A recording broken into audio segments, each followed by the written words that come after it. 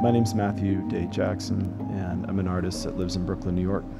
The pieces in the lounge are, all called um, solipsists. I'm interested in how uh, the predicament of being a human being um, limits our understanding of the world uh, without seeing a reflection of ourselves. To a certain degree, the furniture is essentially an armature um, for a performative act, um, which is culture.